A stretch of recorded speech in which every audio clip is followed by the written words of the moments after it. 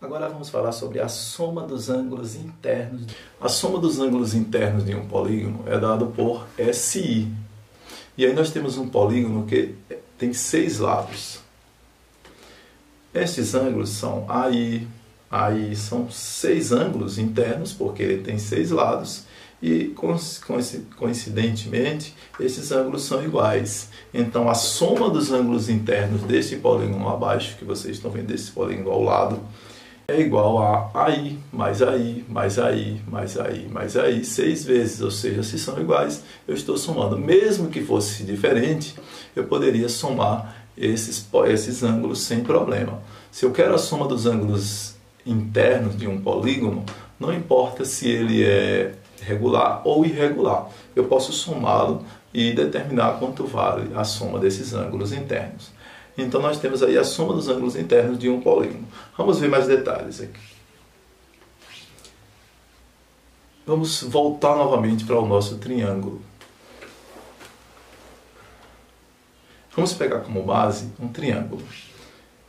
A soma dos ângulos internos de um triângulo, nós já sabemos que é 180, sempre vai ser 180, independente do tipo de triângulo.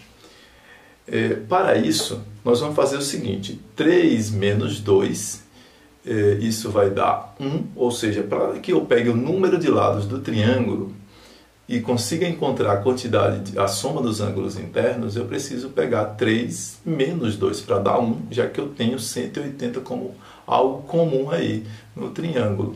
Então, 3 menos 2, 1 vezes 180, 180 graus é a soma dos ângulos internos de um triângulo.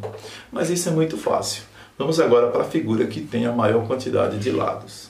Agora nós vamos pegar um quadrado e perceber que já de cara o quadrado representa dois triângulos. Se este quadrado representa dois triângulos, então você já sabe que aí você tem 180 mais 180. Então nós temos aí ó, 4 menos 2, 4 lados do, do quadrado, do quadrilátero ou do quadrado, é, menos 2, isso vai dar 2. Então 2 vezes 180, 360 graus é a soma dos ângulos internos de um quadrilátero. Agora nós podemos ir para um pentágono.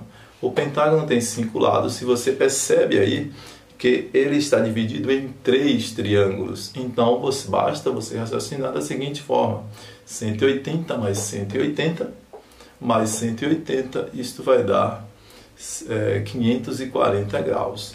Vamos conferir?